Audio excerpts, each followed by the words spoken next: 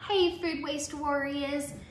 Leafy greens are in season. Now we're talking about our bok choys, our pak choys, any kind of Asian green. We're talking about lettuces and delicious things like that.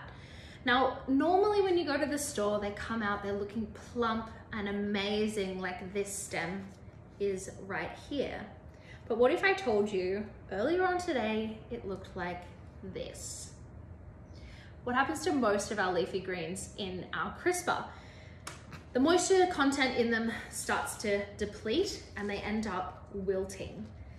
Simply, all you need to do, pop them in the sink filled with water, fully submerge your greens under the water so they're completely covered.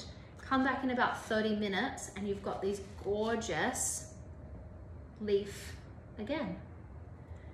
It's pretty easy to take these drab ones to these fab ones. Now, if they're 100% too far gone, the next best thing that I love, love, love to do is pop them in the blitzer if I'm not gonna make a pesto or something like that, I'll blitz them up and freeze them.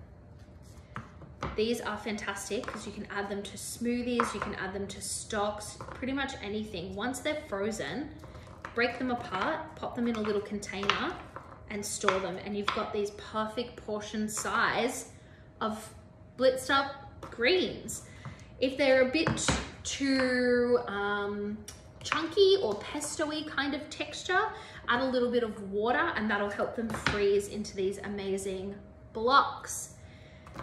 Use all your greens, help us fight food waste. If you haven't signed up to our Food Smart program, click on the link and do so. We'll send you some amazing tips and tricks on how to reduce your food waste.